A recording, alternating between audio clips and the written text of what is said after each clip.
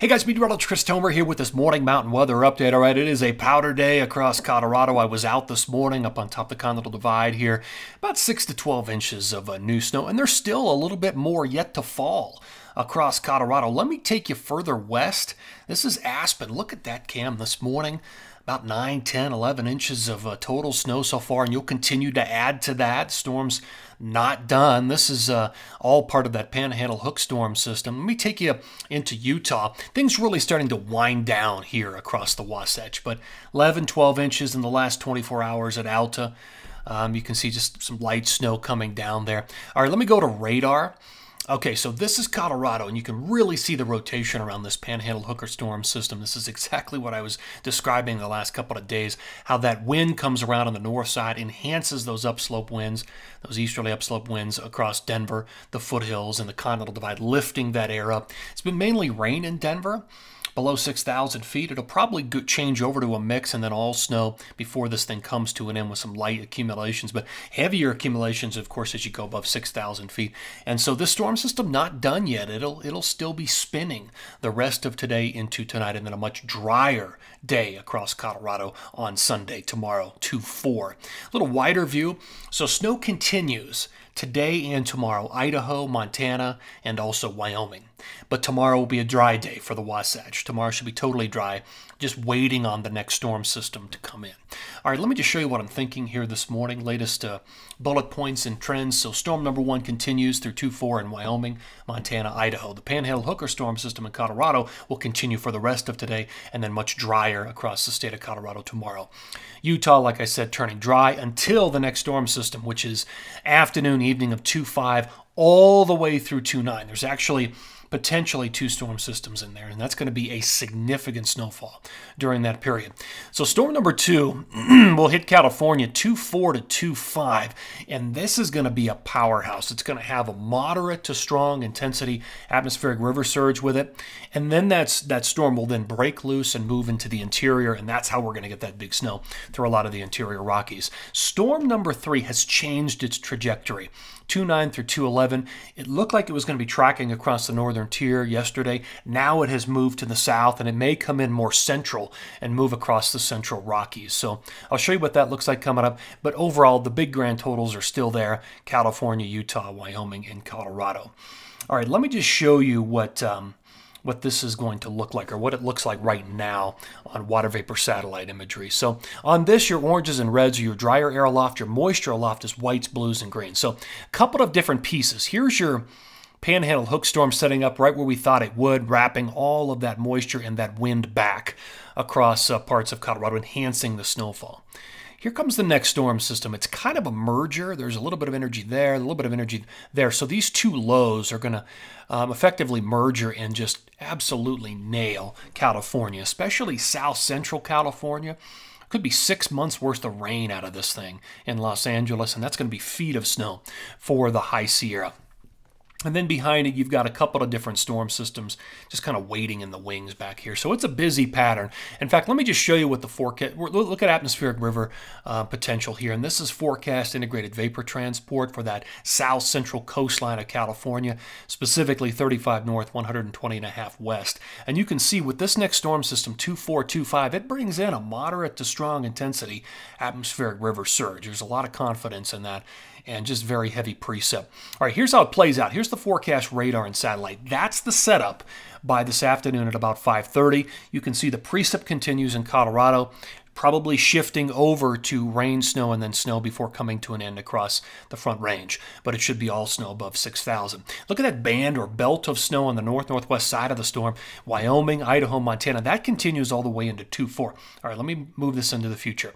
There we are, 2 4. Here's 2 4 in the afternoon. Here comes the next storm system out of California, begins to make its move into the interior. Here's 2 7 in the morning. So snow in the Tetons, Montana, the Wasatch, and now uh, Colorado. 2 7 in the afternoon, same thing. And 2 8. Here comes another storm system. So this is 2 9.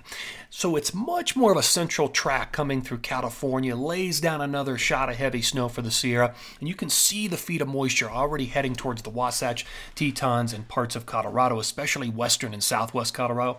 So that's 2 9 in the morning. Here's 2 9 in the afternoon. There's 210. Uh, 210 in the afternoon, and by 211 it's moving away, and we're kind of left with a little bit of a west-northwest flow. So there's 212, and the potential next storm system would be way up in the Pacific Northwest. All right, let's talk about the jet stream pattern here. So this is 2-7. This is the storm pulling out of California, moving into Utah, Wyoming, Colorado, New Mexico. 2-7, 2-6, 2-7, 2-8. Um, jet stream moving further down the road. This is 210, and you can see the trough swinging through Utah, Wyoming, Colorado, New Mexico. That's that storm 3, which has shifted its track. That'll be moving through. 29, 210, 211. Now here is 212, and this very last piece of that trough kind of sliding and moving out of uh, Colorado and New Mexico. And then behind it, you can kind of see what's left of the jet steering a potential next storm into the Pacific Northwest. All right, as far as snowfall, rest of today, tonight, and tomorrow, another one to three inches in the Wasatch, and that's probably going to do it. Much drier tomorrow. Another five to eight for the Tetons, another five, six inches up in uh, Big Sky, Bridger Bowl, Discovery. Um, in Colorado, maybe another two to six inches across the western slope, but a lot of the additional accumulation uh, will be right on top the Continental Divide. Loveland and Keystone, A Basin, Summit County, Breck, uh, Winter Park, Eldora, Cameron Pass, where that, uh, that flow around that Panhandle hook storm will benefit most of that Continental Divide the most. So we're not quite done there. And then potentially that next storm hits California 2425, so you can already see we're looking at one to two feet with that sucker coming in. All right, next phase. So this is a big one. This is 2.5 through 2.9. Um, an additional two to three feet across the Sierra. So we could be looking at four or five feet of snow here yet to go in the Sierra through 2.9. Um, that's a huge bullseye. And potentially three feet on the way between 2.5 and 2.9 and Little Cottonwood Canyon, two feet up in Park City, Snowbasin, and Deer Valley. In Colorado, it's mainly western slope and southwest Colorado that benefits during this time period. Uh, you can see much, much less snow on the Continental Divide once we get rid of the Panhandle hook storm. A couple of feet for the Tetons.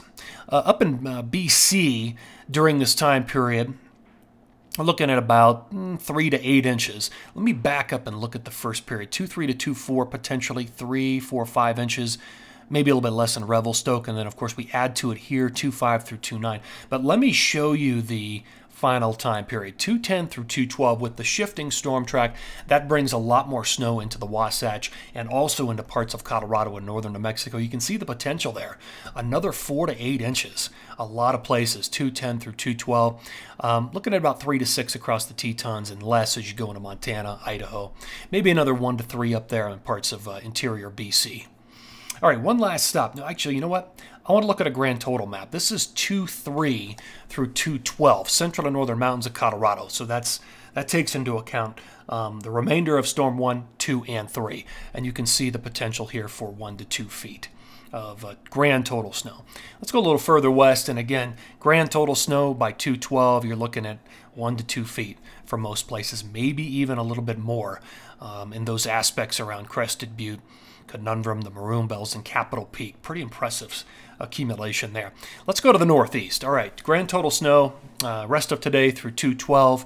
Most of this accumulation comes very late in the period, 211 or 212. So most of the period is devoid of any big snowfall. All right, guys, that's going to do it for this morning mountain weather update. Uh, stay safe out there and have a great weekend.